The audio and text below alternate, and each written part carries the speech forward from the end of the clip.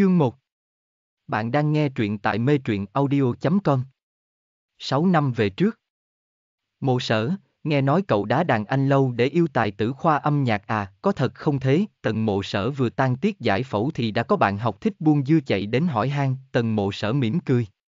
Đúng vậy. Không phải chứ. Trước kia cậu yêu anh ấy chết đi sống lại cơ mà. Sao nói đá là đá ngay được thế? Anh ấy là ai chứ hả? Người ta là lâu tư trầm đấy. Bao nhiêu con gái trường này đổ xô vào anh ấy còn không kịp, cậu thì hay rồi, có mà còn không biết quý, tần mộ sở sửa lời cô bạn một cách rất nghiêm trang.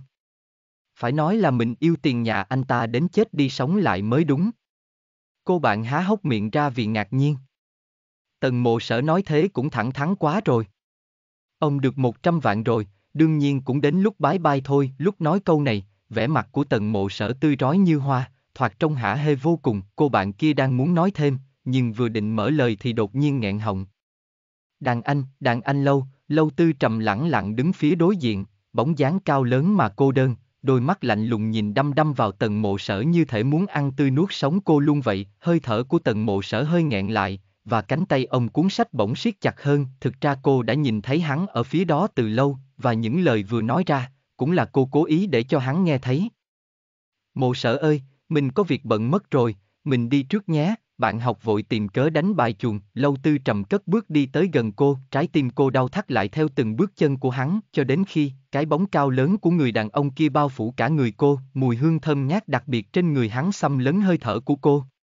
Không hiểu vì sao, cô bỗng thấy sống mũi cây xè và lệ nóng suýt nửa trào lên khóe mi, may mà cô ép mình nén xuống.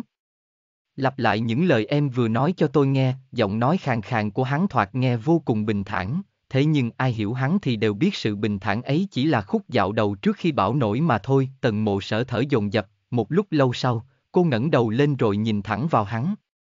Tôi chủ động tìm mẹ anh để đòi một trăm vạn kia đấy. Còn nữa, từ trước tới giờ tôi chỉ yêu một mình cố cẩn ngôn. Quan hệ giữa chúng ta kết thúc rồi, hết rồi, ưm ưm ưm, tần mộ sở còn chưa nói xong thì môi cô đã bị đôi môi mỏng lạnh lẽo của người đàn ông kia phủ kín, hắn như một con thú hoang đang phát cuồng, một tay ấn cô áp sát bức tường sau lưng, một tay nâng cầm cô lên rồi công thành chiếm đất trên răng môi cô một cách cực kỳ bá đạo. Hắn cướp đoạt hương thơm đặc biệt thuộc về riêng mình cô, hắn xâm chiếm hoàn toàn từng hơi thở của cô.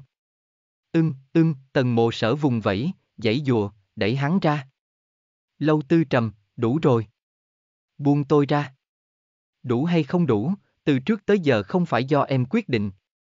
Thân hình cao lớn của lâu tư trầm đè nặng cơ thể mềm mại của cô. Hắn bể nghệ nhìn cô từ trên cao, đáy mắt kìm nén lửa giận bừng bừng. Lúc trước, khi trăm phương ngàn kế cuốn lấy tôi, đáng ra em phải biết em chưa từng có quyền quyết định lúc nào thì chúng ta chấm dứt, nói xong, lâu tư trầm sùn xả luồn tay vào trong áo cô, hắn đang cố ý, hắn đau khổ vì cô, hắn nổi giận vì cô, thậm chí hắn còn muốn bóp nát cô trong tay mình. Đừng làm thế, tần mộ sở hô lên rồi hoảng hốt nắm lấy bàn tay đang tác loạn. Lâu tư trầm. Anh là đồ khốn. Đồ khốn. Sao độ khốn nạn, lâu tư trầm tôi mặc cảm với em. Bàn tay ngang ngược càng thêm sổ sàng trong thân thể cô, và cơn giận của hắn khiến cho động tác trên tay mạnh bạo hơn nhiều, tần mộ sở thở hỗn hển, hai mắt đỏ bừng lên. Được, anh muốn lên giường với tôi đến thế thì được thôi. Một trăm vạn. Đưa cho tôi một trăm vạn nữa, tôi cho anh sợ chán thì thôi. Ngủ chán thì thôi. Anh có muốn không? Bàn tay đang làm loạn trên người tần mộ sở chợt dừng lại, đầu ngón tay bỗng chốc lạnh tự tuyết giá, tần mộ sở rùng mình, lâu tư trầm rút tay ra khỏi người cô, động tác cứng đờ. Sau đó, giọng nói khàn khàn của hắn lại vang lên lạnh lẽo. Tần mộ sở, chúng ta hết thật rồi, nói đoạn, hắn đẩy cô ra đầy chán ghét, thế rồi quay người, hờ hững bỏ đi, không quay đầu lại, cuối cùng, vẫn là chính hắn đặt dấu chấm tròn cho quan hệ giữa hai người họ, tần mộ sở ngồi thụt xuống, ông chặt lấy cái bụng đang đau trăm trang, sắc mặt tái nhật đi, bụng dưới của cô, máu trăm rỉ chảy. Nghe trọn bộ tại mê truyện audio.com, link trực tiếp ở phần mô tả.